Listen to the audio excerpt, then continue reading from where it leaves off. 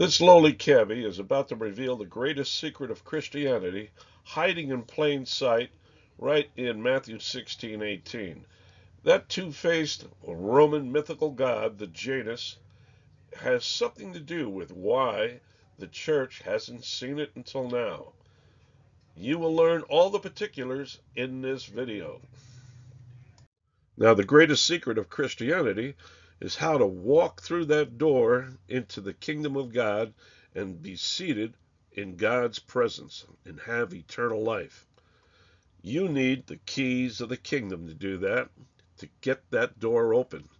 I know who has them, where they are, and how you can get them, and then I can show you where that door is so that you know precisely how to use them to get in.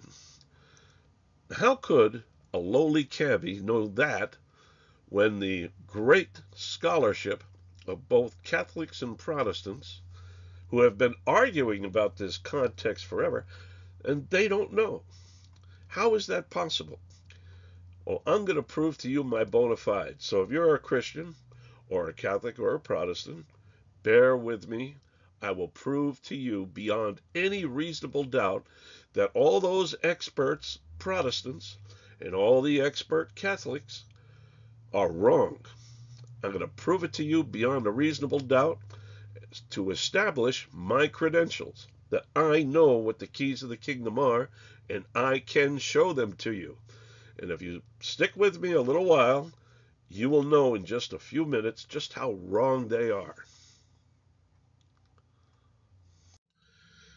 Now, logically speaking, when you have two objects and they have the same properties, they are the same thing. Now, if there's an incompatible property between them, then they are different. That top context, Matthew 7, uh, verses 24 and 25, has four distinct ideas in it that also exist in that context that Catholic and Protestant scholars argue about all the time, Matthew 16, 16 through 18. And I've color coded them. So these elements, these properties, are common to both contexts. They're blue, green, yellow, and red. They're common to both. So they are the same thing. It's like the same apple. You've heard that saying, you can't compare apples and oranges. Well, we're not. We are comparing an apple with an apple. And if you eat the apple one way and it's the same apple, you eat it again the same way. You don't change. Because if you only changed if it wasn't an apple, then you would do something different. These two contexts define, that top one defines how the bottom one is to be interpreted. There's only one way to interpret the top one, and that's the way Christ set it up. So when we go to the bottom one, we have to do what Christ did in the top one in the bottom one. And Catholic and Protestant experts never do this. You can go through all their literature, and not once will you see them refer to Matthew chapter 7, 24, 25. They'll argue with each other all day long, and not once will they mention this context. Now, we're going to go through this in the next few slides. It's going to be easy. You're going to see just how wrong they are beyond all reasonable doubt. You could actually document it in a court of law that those guys totally missed the boat. And then my bona fides will be established. You will know that although I am, yes, a lowly cab driver, I do know what I'm talking about.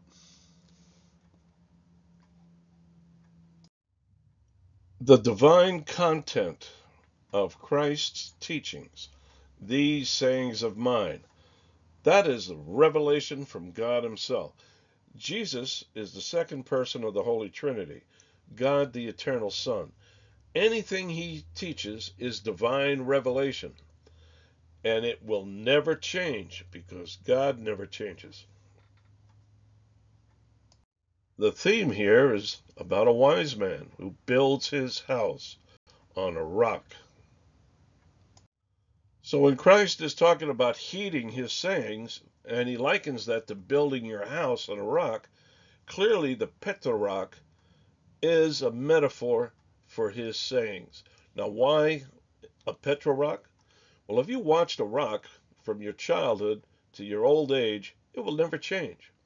So a rock is a perfect metaphor for unchanging divine revelation.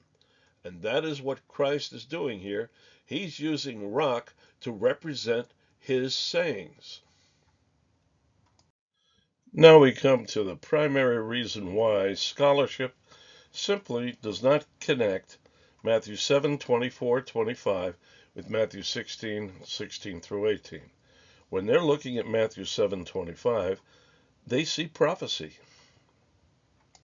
Now, in the exegetical summary of Matthew 1 through 16, what the major commentaries have to say about Matthew 7:25 are helpfully listed in one paragraph. Check it out. Final judgment, ultimate ordeal, which is death itself, storms of life, upheaval of the last days prior to the end of the world. Of course, if you think that text is prophetic, now remember, it's part of the Sermon on the Mount. It's the very tail end of it. If you think it's prophecy, then you're not even going to think about Matthew 16, 16 through 18. It totally goes over your head. Now, why scholars didn't see this as two way genre, I have no idea. It's classic. You have the wise man building his house on a rock, and when the floods come, it doesn't collapse. And the unwise man doesn't build upon the sayings of Christ, and of course, the collapse of that house is very great. This is classic, two way genre. You choose one, it's better than the other. As in Deuteronomy 30:19, I have set before you life and death, blessing and cursing, two way genre. Or just a few verses above our target text, the narrow gate and the broad gate. Of course, Christ says, enter by the narrow gate because that's the one that leads to life. So, why scholars think of that as prophecy in Matthew 7:25 is simply unfathomable. I I can't figure it out. Maybe you can. I can't. You know, it's interesting to notice that Paul clearly reworked the material in 724 and 25 in his sermon here in Ephesians 6 10 through uh, 12. Spiritual wickedness in high places clearly is a parallel to the rains, floods, and winds that fall down from heaven against the poor wise man's house and uh, beats against it. He's an obedient child of God. These sayings of mine, that's clearly a parallel to being strong in the Lord and the power of his might. If you're standing in that, then like the man who is built upon that, you can stand against whatever the devil throws against you. The parallels are clear. Paul is not interpreting that as prophecy. He's looking at it as didactic teaching.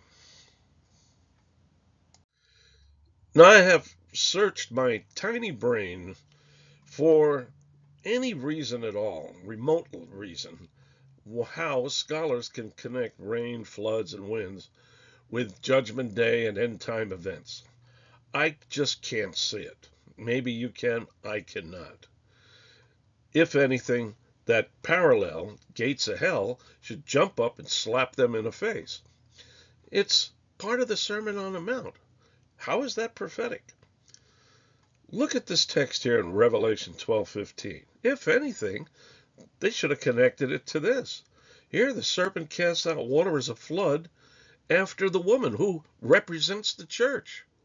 So you go to Matthew 16:18, you got the gates of hell and he's fighting against the church. And there's the connection, Revelation 12:15. Or in the Old Testament, 2 Samuel 22:5. David speaks about the waves of death, the floods of Belial. Now we know Belial is another name for Satan in 2 Corinthians 6:15. I cannot fathom why scholarship didn't go here. If they're going to go anywhere from this text, why not here? You tell me. I don't know. Let's move on.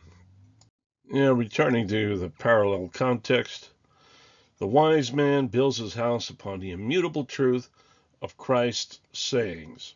He's building on the Petra. So when the forces of nature come against that house, it falls not. Now let's check out the bottom context and see if we have the same general ideas in there. Now let's focus on the bottom context. Thou art the Christ, Son of the living God. That revelation Peter received from the Father in heaven. God is immutable, never changes. He never speaks anything but the truth, so his truth never changes. And this is about the identity of Jesus Christ, who is God the Son, so he never changes. Therefore, this is immutable to the nth degree. Now, notice, just as in the above context, we're still talking about building upon a rock. Now, here it's a church. In the above context, it was a house. But you're building on the same green, immutable Petra rock.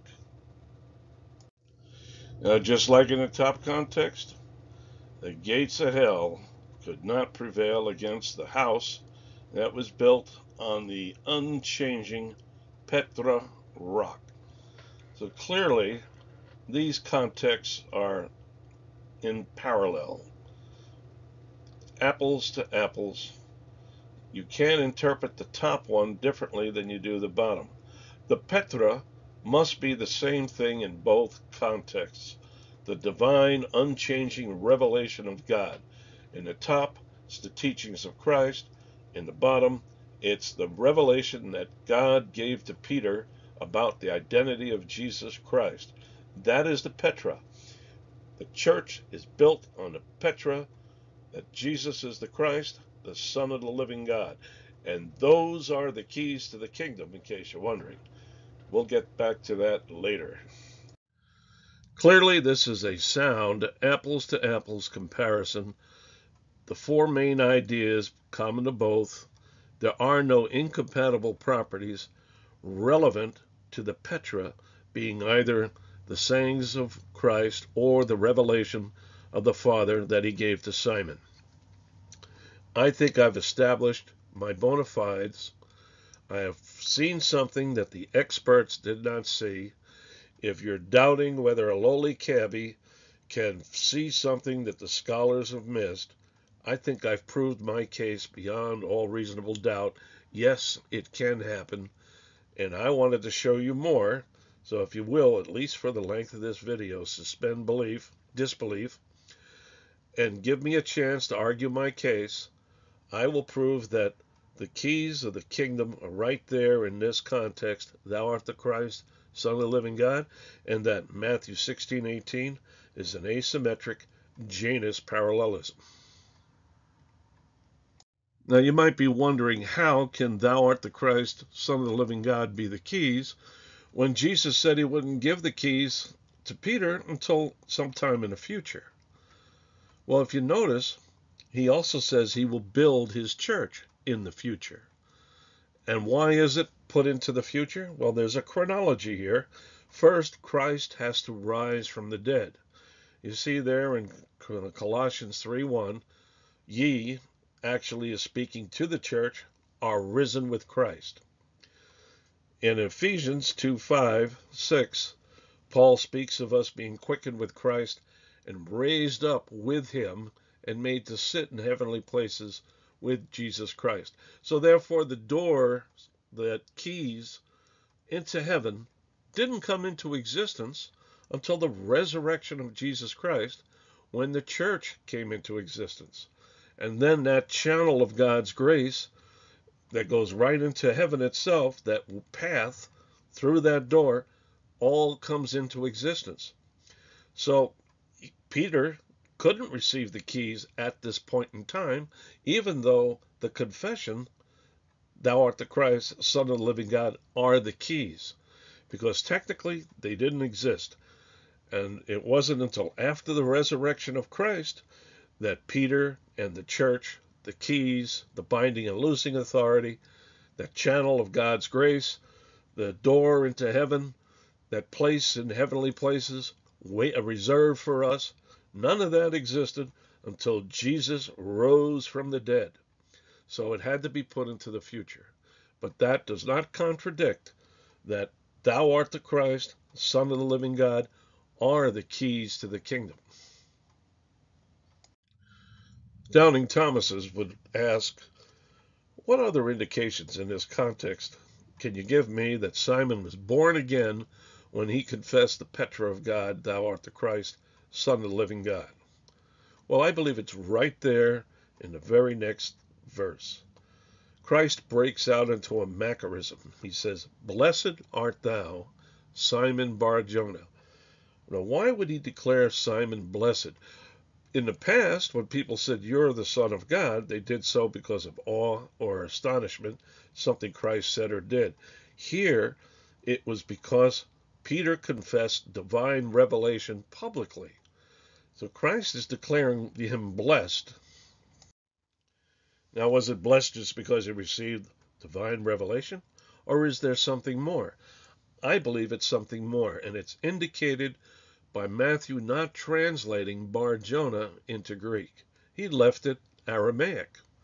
Bar means after the order of, after part of a class, son of.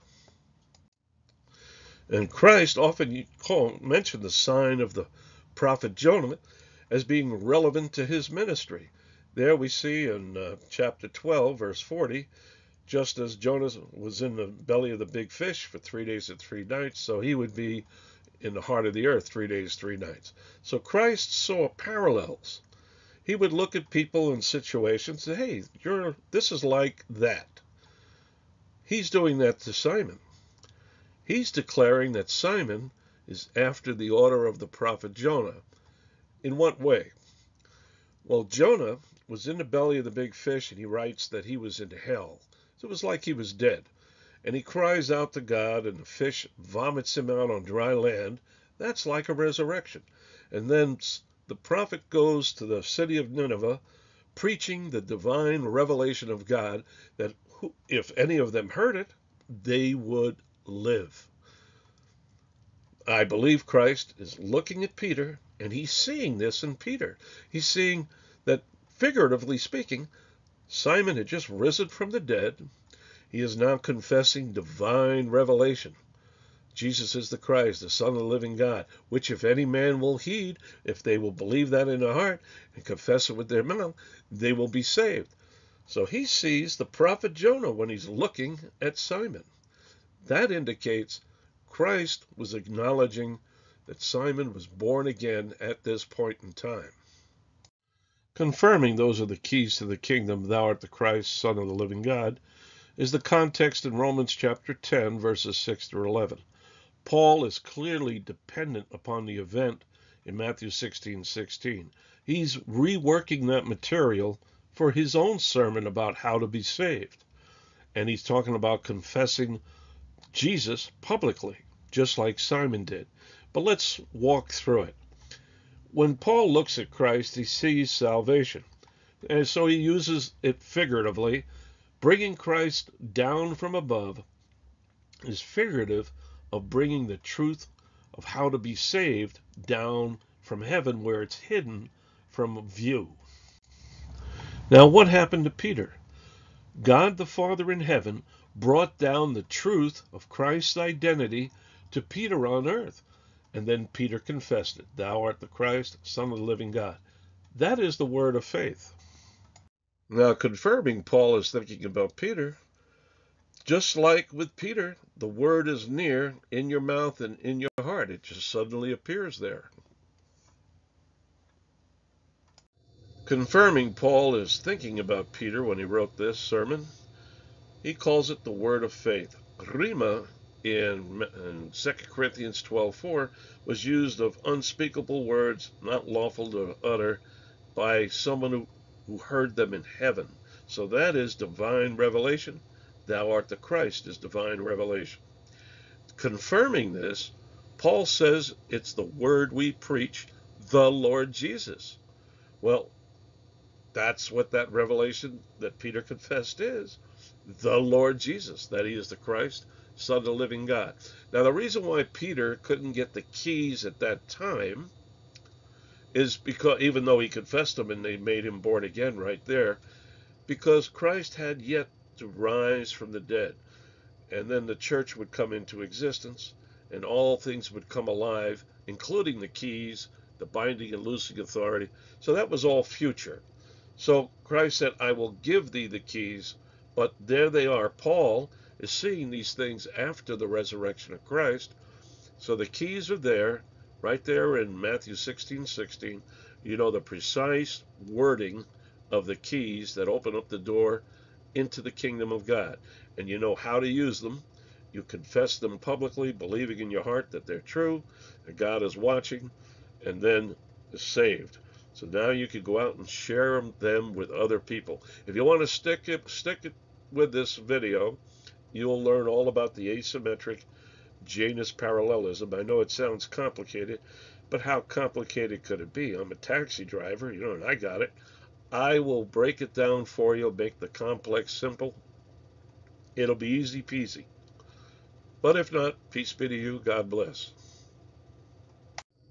For hundreds, perhaps thousands of years, hiding in plain sight were asymmetric Janus parallelisms. In 1978, Cyrus Gordon discovered these, and he coined that term using the Roman mythical god, the Janus. One face looks back into the past, the other face looks forward into the future. They're different, so it's asymmetric. It's a parallelism because the act of looking is the same, even though it is opposite directions. Once scholarship was made aware these Janus parallelisms exist, now they're discovering them all over the Old Testament. While they were looking in the Old Testament, I decided to look in the New. Now, technically, Matthew 16:19 is not a Janus parallelism. There is no homonym looking both ways. But this parallelism was created by an actual Janus in Matthew 16:18. It was in Matthew 16:18 that this forward backward perspective was created. So we can look at this as though it is a ripple of an actual Janus, like a stone tossed into a lake creates ripples. This is a ripple of an actual Janus. Whatever is bound or loosed on earth in the past is then bound or loosed in heaven. So the Janus would be Peter looking back and God looking forward. Cyrus Gordon identified this as a Janus. Now, I didn't buy his book, so I don't know exactly what he has to say on this, but this is the way I take it. Zamir is the homonym. The King James Version, looking at that word, they're thinking springtime, there's a turtle dove there, so they singing of birds. The ancient Greek Septuagint, they see the word flowers, they're looking in the past. Zamir means pruning. It actually means both. King Solomon was communicating an entire picture, and both of those translations lost what the author intended. Solomon was thinking it's springtime, Romeo is pruning flowers, and he's singing. He's got a song he's going to sing to his turtle dove, the love of his life, and then she will respond. Her voice will be cooing. And the reason why there's a lot of cooing heard in the land, it's springtime, there's a whole bunch of Romeos out there romancing a lot of turtle doves. So the voice of the turtle is heard in the land. Now that's a lot of content. That's like a picture. Both of those translations missed it. If you just focused on what they said, you didn't come up with that picture. You needed inferential logic, what John the Apostle called the mind that has wisdom. But you can't employ that until you know that this is an asymmetric Janus parallelism. Now notice it caused these translations problems. Both of them, they see these other meanings, this other content in the verse implied by the Hebrew, but they have to choose one meaning over another, so they end up losing content. Solomon meant both meanings. And it's only when you combine both meanings and you're seeing the Janus, you're seeing in both directions, that you get the full intent of that word. Matthew 16, 18 is precisely that.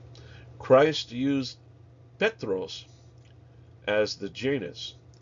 It is actually a homonym, meaning both firstborn and stone. Now I'm going to prove that in the next coming slides, and then I'll show you how all this comes together, and it's a wonderful thing. For one to see the Janus in Matthew 16:18, they must first know that in that unique Aramaic that Christ and his apostles spoke in Palestine, there was a proper name meaning firstborn that when transliterated into Greek was spelled precisely like Petros stone. It likely came from the Hebrew word Peter, Strong's Concordance 6363, and it meant firstborn, or that which was first out of the womb. Here is the Janus in Matthew 16:18. Looking back, Peter had just confessed that Jesus is the Christ, the Son of the living God. He had become first born of the divine revelation of Christ. That never happened before. He is the first. Christ says to him, You really are Petros, emphasizing the meaning of firstborn in his Aramaic name.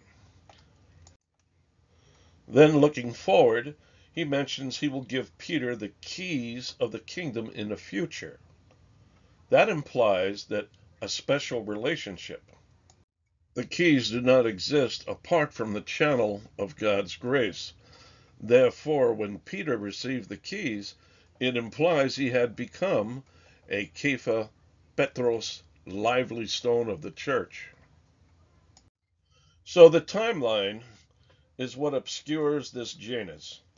Christ must rise from the dead and begin building his church before the spiritual house, the holy priesthood, and Peter's relationship as a Petros, a Kepha, lively stone, had come into existence. So that is why in the middle of this Janus, we have, and upon this rock I will build my church, and the gates of hell shall not prevail against it. That must happen before he can give Peter the keys of the kingdom. And when Peter gets the keys, it implies that he has already become a Kepha Petros, lively stone in that channel of God's grace. There are no keys apart from the channel of God's grace.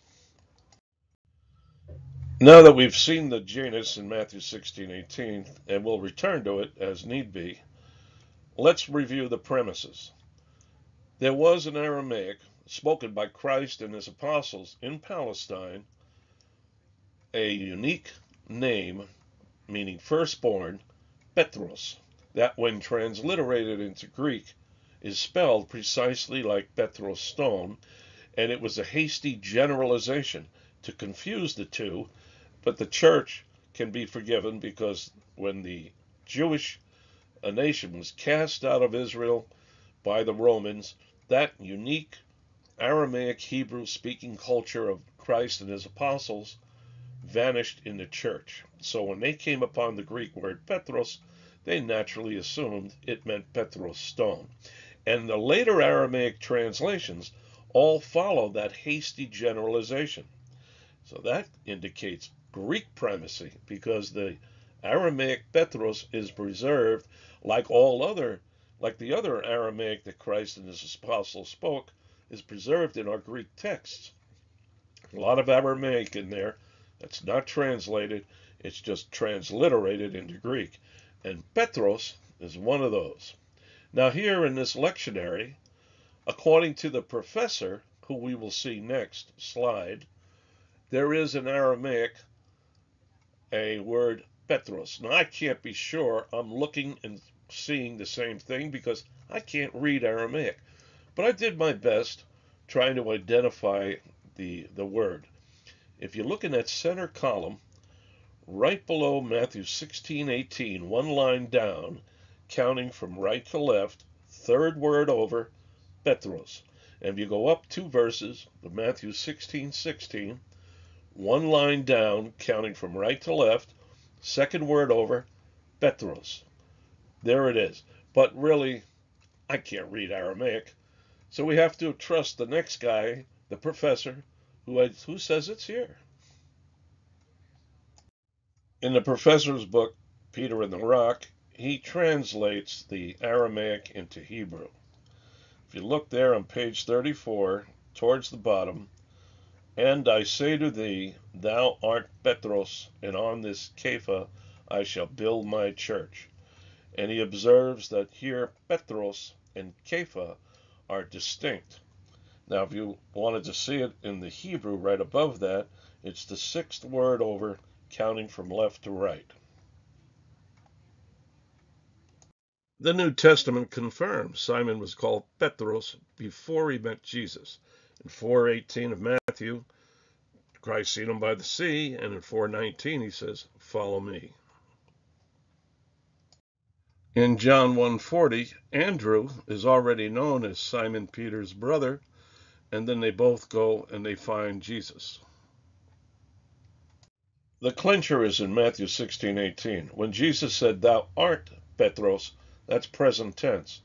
He didn't become Petros at that time, just as in Matthew 16:16, when Simon said, "Thou art the Christ," he didn't become the Christ at that time.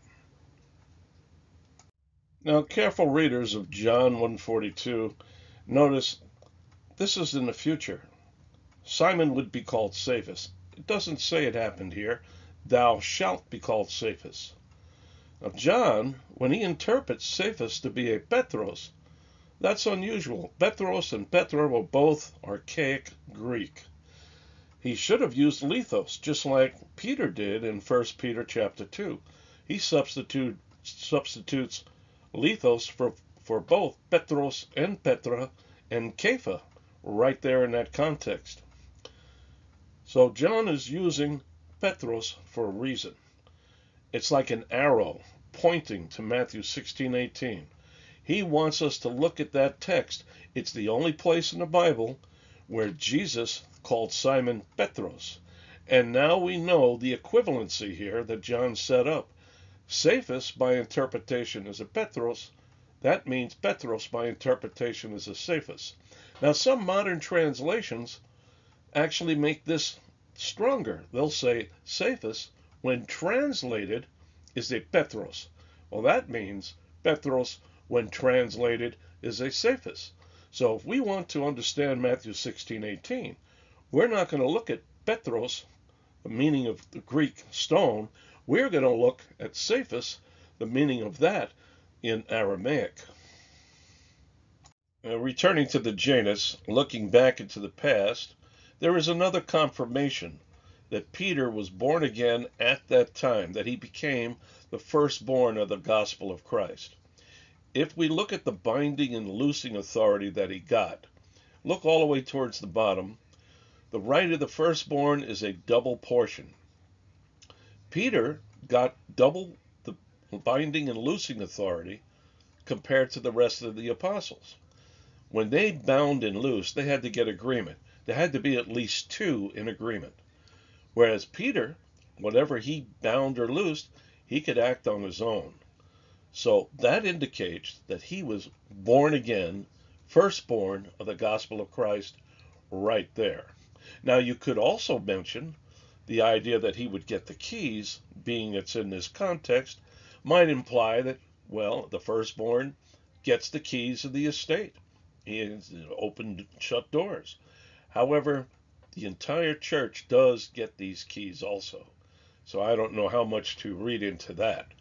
But the binding and loosing authority definitely indicates the right of the firstborn, double portion, and he has double the binding and loosing of power authority over the other apostles. Additional confirmation that Petros is a homonym are the two radically different perspectives of Matthew compared to Mark and John. Matthew sees Petros as earliest, the one called firstborn in Matthew 10:2. Now that's not part of a numbering system because the second guy mentioned is not number 2 and the third is not number 3. So it's not a numbering system. Neither is it any reference to primacy because right after the event in Matthew 16:18, the apostles are still arguing who's going to be the greatest in the kingdom. Now, had Jesus given Peter primacy in Mark 16, I mean Matthew 16:18, then that argument would never happen. So the parsimonious interpretation of protos in Matthew 10:2 is precisely as I have it, and it's consistent with Matthew 4:18, where he's already called firstborn before he met Christ, earliest Simon the one called firstborn. However, John and Mark, they're not seeing it that way. They're seeing Petros, stone, the Greek meaning Kepha. Mark says that Simon was surnamed Petros, just as James and John are surnamed sons of thunder. That technically is not a proper name. That's more like a description. And John says Cephas, by interpretation, is a Petros. Now, the word interpretation is more parsimoniously understood precisely as the King James Version has it, not its translation. At the time when Christ, when this happened, Cephas was not a proper name either. So neither one of those are proper names. They're both meaning stone. When John said Cephas, by interpretation, is a Petros, some modern translations render that Cephas, when translated, is Petros.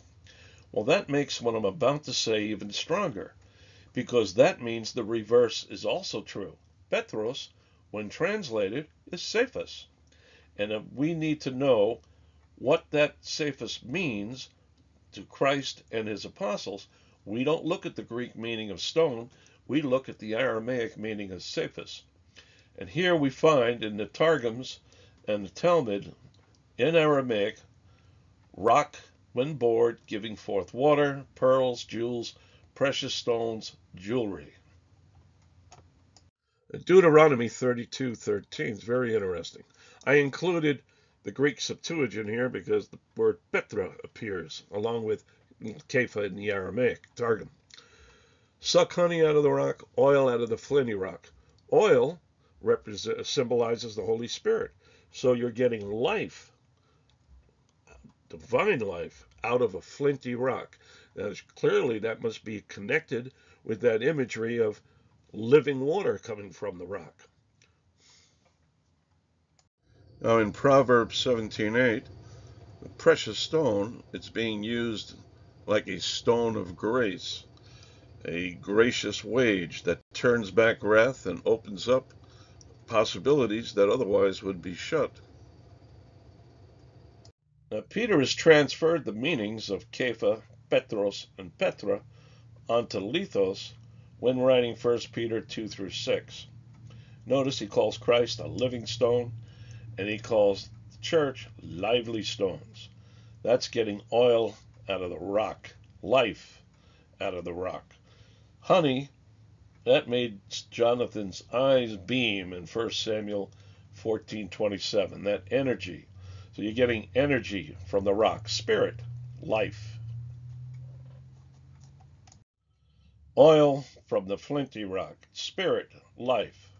Christ is that spiritual rock that followed the children of Israel in the wilderness. When Moses struck it, out of it came water, life giving water, a spiritual drink. All who drank that lived. Notice in the Septuagint, saying Greek word Petra.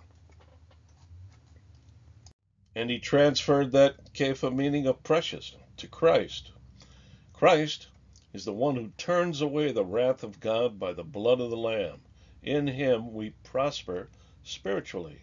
Notice he says on the bottom, Christ is that cornerstone, precious he that believeth on him shall not be confounded, because the wrath of God has been turned away, and now you're prospering in him. So the transference to lithos, when applied to either Christ or the apostles, indicates that Peter is thinking about Matthew 16:18, that relationship that Christ established in that Janus between Petra and Petros. Here it's living stone, lithos, and lively stones, lithos. But it's the same relationship. The same meanings have been applied to lithos. It's clear Peter is applying to the church what Christ applied to him. Let's look into that a little closer. Now, it's often missed, but let's look at that functional relationship that we see in, in 1 Peter verses 2 and 3. Notice in verse 3 if you have tasted that the Lord is gracious, then in verse 2, you are a newborn babe, desiring the sincere milk of God's word. Verse 3, if you have not tasted that the Lord is gracious, then, verse 2, you would not be a newborn babe, desiring the sincere milk of God's word. So, what did they taste before they were newborn babes, born again? They tasted the living water. They got oil from the flinty rock, that living water from Christ that mass of massive Petra rock. Now, that relationship, that analogy, greater to lesser analogy, is evident in Matthew 16:18 by the apposition of Petros and Petra. It implies this relationship that we see in 1 Peter 2 2 through 6, the living stone, lively stone relationship. Clearly, Peter has in mind that event in Matthew 16, 18. And he's applying the Janus just the way Christ applied it to him. He has now applied it to the church. So 1 Peter chapter 2 verses 2 through 6 is additional confirmation that Matthew 16:18 is a Janus, that Peter was being surnamed Petros in Greek even while Christ was emphasizing the Aramaic firstborn meaning of the name he already had. And when he said, I will give thee unto thee the keys of the kingdom, that confirms that that Petra, Petros, Kepha relationship, that living stone, lively stone relationship would exist. And then, of course, he would have the keys. He'd be part of that channel of God's grace. You don't have the keys unless you're part of that channel. The keys do not exist apart from the channel of God's grace. Therefore, when Peter received the keys, it implies he had become a Kepha Petros lively stone of the church. So, to sum this up, all the evidence shows Petros, Peter, is a homonym. Looking back into the past, it's the Aramaic word firstborn, looking forward into the future. It's the Kepha Petros stone, as meant in the Aramaic Targums and Talmud, that Aramaic that was spoken in the days of Christ. Very unique. Matthew is looking back when he was firstborn, born, earliest Simon, the one called firstborn. Mark and John are looking into the future after that Kepha Petros uh, water bearing relationship is established and Peter then is able to get the keys and reveal Christ to the world. Here it is. It's all right there. I think I've made a good case for this, and it's uh, a strong one. Peace be to you. I just have a couple of more comments, and that's it. But this is a wrap. Now, remember, before all those experts start flooding in how I can't be right, remember how blind they were to Matthew 7 24 25, how they ignore it entirely when they're interpreting Matthew 16 16 through 18. They didn't see this. I did. I have some credibility that they do not have. In the writings of the fathers, 44 thought the rock was Peter's confession, 16 the rock was Christ. They're actually in fundamental agreement. They're both looking at the confession the identity of Jesus that Peter confessed, that divine content, and they're thinking, okay, 16 said the rock is Christ. The 44 said, well, actually, he's confessing that identity. So that is imprecise. He, they didn't focus on the actual Petra, and because of that imprecision, they didn't realize the keys of the kingdom is that exact, precise, divine content that Jesus is the Christ, the Son of God, and that that is the key to being born again. You confess that, you believe it in your heart, you're drinking that water, and you confess it publicly, and then people are saved. I just want you to notice the confirmation it's a Janus. Some of these fathers, even in their own writings, they would see waver between two different opinions.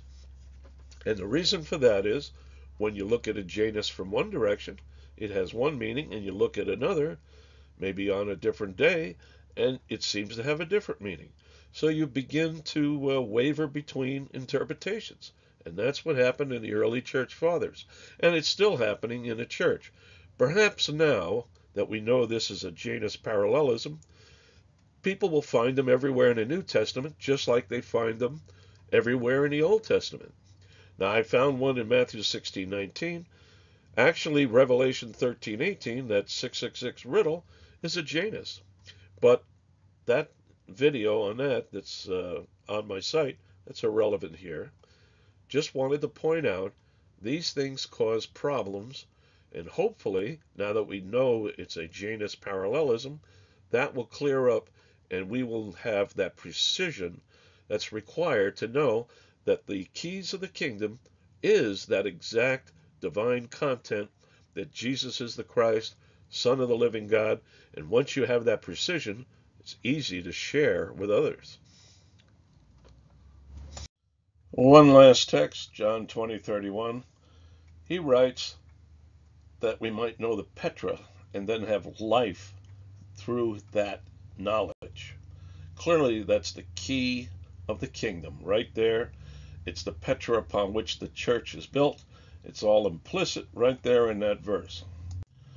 Now, this Janus parallelism is very important to the church. It proves a lot of what scholarship have done to the integrity of our Bibles is wrong. Error hasn't crept in. Jesus Christ said, and he is the eternal Son of God, not one jot or tittle will pass until all is fulfilled. Now, he wasn't talking about diacritical marks, shapes of letters, accents. He was talking about meaning because you cannot fulfill that stuff that is, doesn't have meaning.